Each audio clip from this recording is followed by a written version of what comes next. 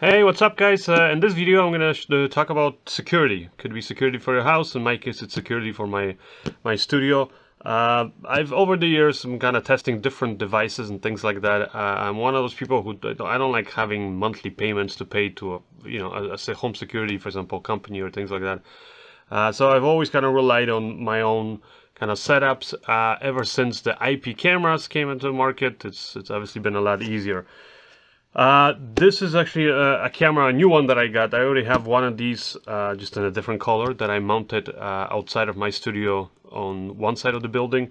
This is another one I'm going to mount on the other side of the building, where I have two entrances. And uh, I got this one because I really liked the, the previous one. There's also another set of cameras that I use indoors, plus I also use a safe and other things like that that I'm going to kind of quickly mention uh, and these are all simple, affordable ways that again will not require you to have like a monthly subscription. Uh, first, let me maybe open this up and uh, show you basically what this is. So the I've I've tested out a bunch of these cameras over the years, and uh, I, there's always something like either buggy with their software or, or they require you to have like a cloud monthly subscription where they, they record basically all your activity there. This camera allows you to record uh, internally. Comes even with all the tools, which is always helpful. And comes with all the screws and everything. And then here's the light itself. So like I said, this is the second one that I got. The first one that I already mounted is the identical, it's just different color, it's white. Uh, this one is going to be for my other side of the building. I just wanted to see how the black one looks.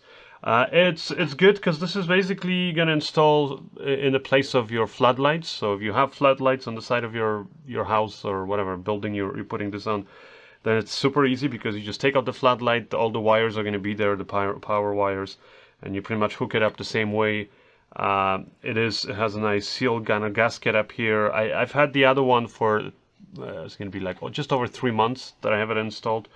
Uh, and I had it in some really bad weather and never had any problems with basically it stopping to work or any leaks or anything like that damaging the, the camera. Uh, the cool thing about this camera is, well, there's a few things. It has motion sensor, obviously it's a floodlight. Uh, they also, they're also actually very bright lights, which is good. And as you can see, you can independently adjust where you want them to point. There's a motion sensor here built in. Here's your camera. On the back here, you can actually put in a micro SD card. So when once you put the micro SD card, you, it will record basically either continuously you can record or record whenever the motion sensor gets activated, uh, all that stuff.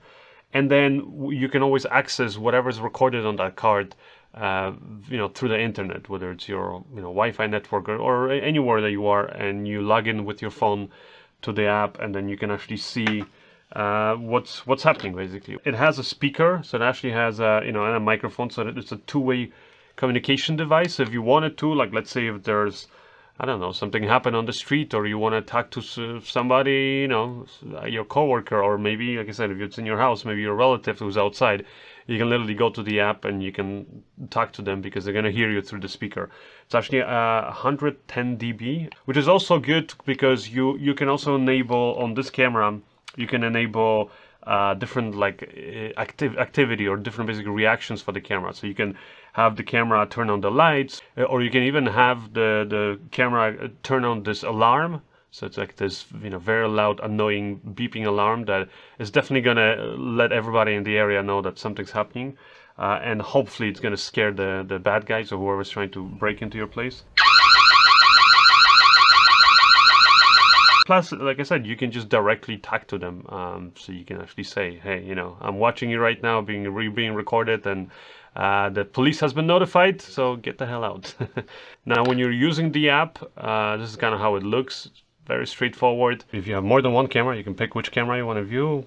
Then inside of it here, you can view the live feed. Uh, or you can click also on, on the clips. You can see what was recorded, what time.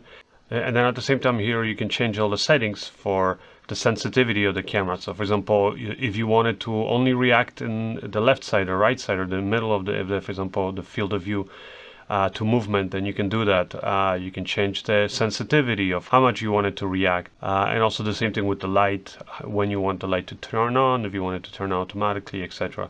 If you turn on this little bell up here, you can also uh, make the camera just ring You can enable the barking dog sound. And then there's also a few phrases that you can enable. And now obviously camera alone is not gonna do wonders for you so you gotta have uh, you know good locks first of all in your house or in your in your studio so install good locks uh, make sure that it's not easy to to break into your place but this is more so that you're aware of what's happening so you can call the police uh, the for the interior I also have other cameras that I've tried that I've tried multiple ones. I'm still haven't found ones that I'm like 100% happy with but uh, the ones here that you see from Yi, uh, these are simple cameras and I have I think like eight of them all over the place kind of you know hidden around. And it also allows me to you can also actually uh, on this one record internally. You can put a micro SD card or you can connect to their cloud service and record there.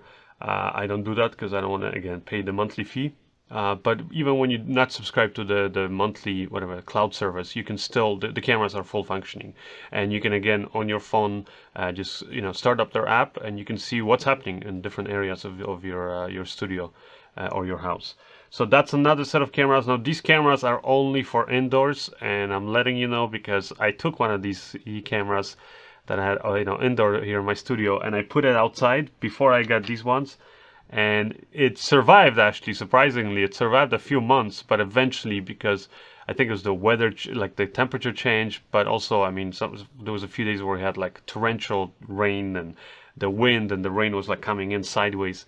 Uh, at that point uh, the, eventually the, the that camera basically broke down on me. So uh, so I would not recommend putting those cameras outside. So that's why I'm saying for outside, get something kind of more robust, a bit more expensive, but really something that's going to last you. Uh, another thing I would recommend is get a safe. I mean, you know, especially like I, obviously I'm not going to be able to lock up all of my cameras and all like really expensive things.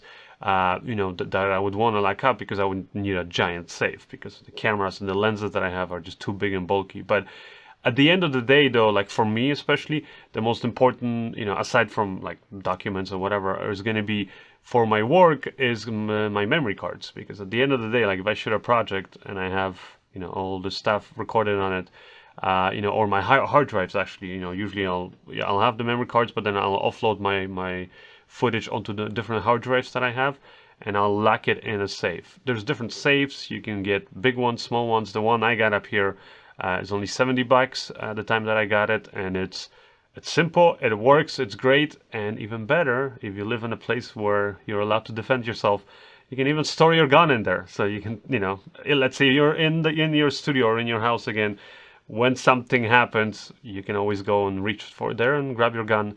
Um, and and defend yourself and your, and your property. And obviously, another benefit of that is like, let's say if you are in your house and you have a gun, never ever. I always tell that to everybody all, all my friends you know guns are great when they're used properly but uh, if you don't use them properly or more, more more importantly when you don't store them properly and you have uh, relatives or other people or, or kids god forbid in your house and they can easily access your gun then that's obviously a very bad thing. So that's one of the reasons why you know i like having these kind of small safes. This one is battery operated. Now if the battery fails you always have a key so you can open it with a key but with the battery you just you can easily program whatever code you want. Uh, it's a simple four pin code. And uh, and that's it. You punch in the code and it opens for you. Uh, obviously the safe you can mount it on a wall or you know under your desk or whatever it is. You know, preferably i would say mount it to like a 2 by 4 or a concrete wall uh, so that it's not easy to basically grab and, and rip the safe. Uh, but yeah once you have it mounted like hard mounted it's it's really secure Anyways, uh, that's pretty much it. So, so I'm gonna go right now outside and install this camera on the other side of my building. So I'm excited about that. Uh, and if you guys have any other like suggestions and, and tips on how to secure your house, whatever your your office, you know, whatever it is that you want to kind of you know increase the security, and let me know if you, maybe you have some other ideas. Uh, like I said, obviously this number one step is make sure you have good locks on your doors. Anyways, my name is Tom and I'll see you guys in the next video. Bye!